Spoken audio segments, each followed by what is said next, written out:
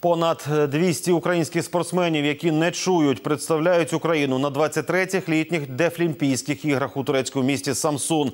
Проводи національної дефлімпійської збірної пройшли напередодні у столиці. Наші нечуючі спортсмени серед найкращих у світі на попередніх іграх друге місце. Українські дефлімпійці сподіваються досягти високих результатів і цього разу. Вихід національної дефлімпійської збірної зустрічають стоячи. Кількасот людей зібралися на поштовій площі у столиці. Адже наші спортсмени, які не чують, були другими на попередніх дефлімпійських іграх. 88 медалей, 21 золото. Найбільш зворушливий момент вечора – гімн України мовою жестів.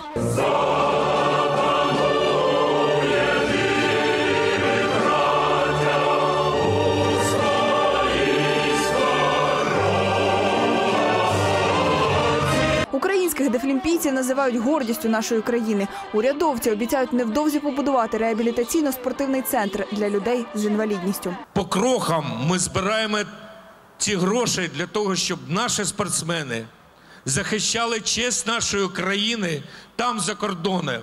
На 23-ті літні дефлімпійські ігри в турецький Самсун поїдуть 218 українських спортсменів з усієї країни. Це рекордний склад. Із 21 виду спорту наші дефлімпійці братимуть участь у 16. Марія Андрієнко з Полтави на попередніх іграх у Болгарії була фотографом. Два роки тому почала займатися тхеквондо. Її надихнули дефлімпійці.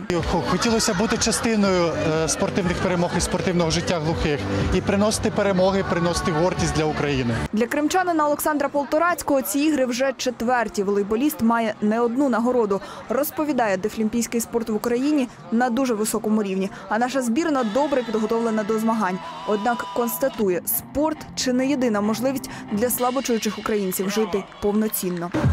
А глухій людині можливостей для працевлаштування дуже мало, дуже обмежені. І тому є, коли людина глуха має можливість, вона йде заробляти гроші в спорт. Часто дефлімпійцями стають цілі родини. Анна Литвиненко плавчиня. Її називають золотою рибкою дефлімпійської команди. У плавання привела і сина Олексія. Хлопець, для якого це будуть перші змагання, каже: мама сувора тренерка. Плавали не тільки з дефлімпійцями, а й серед здорових спортсменів. Тож вірять у перемогу. Ну, дійсно, я, е, я відчуваю натхнення, я не буду не налаштований здаватися. Я знаю, що е, є сильні конкуренти з інші, серед інших спортсменів.